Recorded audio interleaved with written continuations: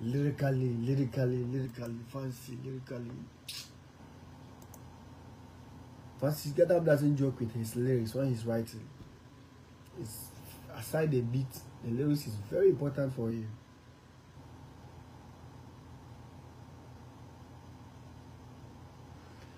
You get me? when it comes to lyrics, aside the beats, Fancy Gadam doesn't joke with the lyrics. Very, very, very, very. He, he, he can spend three days just to find the right, the right word for a song. That be that behind it. That is that is why this song is hitting at this time.